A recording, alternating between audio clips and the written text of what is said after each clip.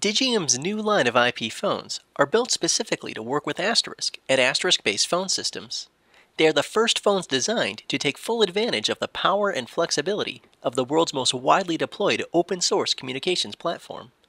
One of the most impressive features of Digium phones is how easy they are to install. In this two-part video tutorial, I'll show you how to provision a Digium phone using the DPMA, or Digium Phone Module for Asterisk. In part 1 of the video, I'll give a little background on what DPMA is and describe conceptually how it works. Then I'll walk through some of the general asterisk configuration needed to set up any SIP phone, including Digium phones. In part 2 of the video, I'll walk through setting up the DPMA configuration file known as resdigiumphone.conf. Then I'll show how a Digium phone responds to the configuration. The DPMA is very simple to use, however, this will be an intermediate level tutorial. I will be explaining the concept step by step, but it will be helpful to be familiar with Asterisk and Linux as a prerequisite. If you are new to Asterisk, I recommend learning the basics first. The O'Reilly book, Asterisk the Definitive Guide, as well as the Asterisk Essentials online video course are good resources. Links can be found in the description section of this video. The Digium Phone module for Asterisk is a binary Asterisk module that acts as a secure gateway between the server and Digium phones. Asterisk uses the DPMA to provision and manage the phones, while the phones use it to retrieve data from Asterisk to be used with the integrated phone applications. This enables rich and intuitive integration between Digium phones and Asterisk. In this tutorial, I will specifically focus on the ability of the DPMA to provision Digium phones. During the tutorial, I will be using the DPMA together with a certified branch of Asterisk 1.8. You can download this branch from asterisk.org slash downloads. You can download the DPMA from downloads.digium.com. The DPMA is available free of cost, however, it must be registered and its end user license agreement must be accepted before Asterisk can use it. You can obtain a registration code free of cost from store.digium.com. All of these links can be found in the description section of this video. In order to understand how the DPMA makes provisioning easy, it will be helpful to take a step back and look at the typical phone provisioning process. In order for a SIP phone to work with Asterisk, you need to configure both sides of the connection, both the phone and Asterisk. To start, account details for the phone must be configured on the Asterisk server. These account details typically include a username and password and may include other options such as the network address and voice mailbox. Then the phone must be configured with similar settings. The process of placing this configuration on the phone is called provisioning. There are two predominant configuration methods that work with most SIP phones.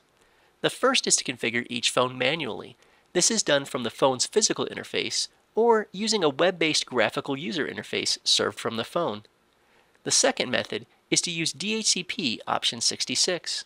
When the phone requests an IP address from the DHCP server, the server is configured to send instructions to the phone on how to download a pre-built configuration. The server typically stores the phone's configuration in XML files and serves them to the phone using a protocol such as FTP. Both of these methods work just fine with Digium phones. However, by using the Digium phone module for Asterisk, we have a faster and simpler solution. I'll quickly describe two of the reasons the DPMA is so easy to use, namely MDNS and text-based configuration. Digium phones and the DPMA make use of a protocol called MDNS to locate each other on the network. MDNS, or multicast DNS, is a method for automatic name resolution. Apple's Bonjour and Linux's Avahi are both implementations of MDNS. Essentially, when an Asterisk server with the DPMA and Digium phones are placed on the same network, they are able to locate each other and begin communicating automatically via MDNS. This minimizes the amount of configuration an administrator needs to do. For more information on installing and configuring Avahi for Linux, see the DPMA User's Guide linked in the description section of this video. DPMA configuration options are set in resdigiumphone.conf. This is a simple text-based .conf file that lives in etc asterisk and is configured using the same syntax that most other asterisk.conf files use. If you are familiar with setting options in sip.conf or voicemail.conf, then using resdigiumphone.conf will be a snap. Setting up a Digium phone with the DPMA involves a simple three-step process. Step 1 is to create a SIP account in sip.conf. In tandem with the SIP account, I will also set up some other general asterisk configuration, including a mailbox in voicemail.conf, an extension to dial the SIP account in extensions.conf, and call parking using the sample features.conf. Step 2 is to then link the SIP account to a phone profile in resdigiumphone.conf. The phone profile contains the phone specific settings that are not exposed in SIP.conf. Step 3 is to associate the profile to an actual phone. Once the profile has been associated, the phone is able to fetch its configuration from the server automatically. Associating a phone profile with a Digium phone can be done in several ways. I will illustrate two of them in this tutorial. Select the profile from the phone and link the profile to the phone's MAC address. In the first method, I'll show how a profile can be selected directly from the phone's interface. When a Digium phone contacts the configuration server, it will retrieve a list of available user profiles. For this tutorial, I will disable authentication. This means that any profile in the list can be easily selected from any phone. These settings work well in environments where you'd like users to be able to configure their own phones. The DPMA and Digium phones make this simple enough that anyone can do it. The second method will use MAC address authentication. With this method, the Asterisk server will know which profile belongs with which phone based on the phone's MAC address. When the phone starts up or is set to reconfigure, it will automatically fetch its configuration from the server without any user interaction at all. Here I am connected to my Asterisk server. Step 1 is to set up the SIP account and general Asterisk settings. I will navigate to etc asterisk and then open the sip.conf file using a text editor. You can see I have configured several parameters in the General section. Refer to the DPMA User's Guide for a description of the general SIP settings to use. Below the General section, I have configured a SIP account. I have named this SIP account based on the primary account user. In this case, the account is for Alan Dorner, so I have named the SIP account A Dorner. Then I have set the type to friend because friend accounts are matched in asterisk for incoming calls based on username. Peer accounts, on the other hand, are matched based on IP address. Type equals friend is helpful in case I want to assign multiple SIP accounts to a single phone. Digium phones can support one SIP account for each line key on the phone. Next I have set host equals dynamic. This is because I will expect the phone to register to asterisk.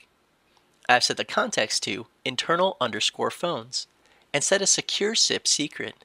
It is best practice to use unique secure passwords for every SIP account. This helps to guard against toll fraud. Finally, I have set the mailbox to 600. This matches the mailbox I have set up in voicemail.conf and the extension name in extensions.conf. This is a very basic SIP account. On a production system, you will most likely want to include additional settings. However, for the purposes of this tutorial, these settings will suffice. Now I will create several other SIP accounts similar to the first. I will then save sip.conf and open voicemail.conf. You can see I've set up a voice mailbox for each one of my users. Here's the mailbox for Alan Dorner. I've set the mailbox number to 600, configured a default voicemail pin, and entered his name. A voice mailbox must be configured in voicemail.conf in order to take advantage of the integrated voicemail application on a Digium phone. Next, I will show my configuration in extensions.conf. Here, I have created the internal underscore phones context and defined an extension to dial each SIP account inside. Here is extension 600. Priority 1 will dial the SIP account A Dorner for 20 seconds. At priority 2, the call is sent to the voicemail application. I'm using the if function to play the correct greeting to the caller based on the dial status variable. If the dial status is busy, the busy message is played. Otherwise, the unavailable message will be played. The third priority simply hangs up the call. Finally, I will include the parkedcalls context inside the internal underscore phones context. I will save extensions.conf and open features.conf. Here you can see I am using the sample features.conf file, which sets the call parking extension to 700. The parkedcalls context must be included in the internal underscore phones context in order for my phones to access the call parking extensions. This configuration is needed in order to take advantage of the integrated call parking application on a Digium phone. For more information on configuring SIP.conf, voicemail.conf, extensions.conf, or features.conf, see the comments in the sample configuration files, along with the resources linked in the description section of this video. In part 2 of this tutorial, we will finish the configuration.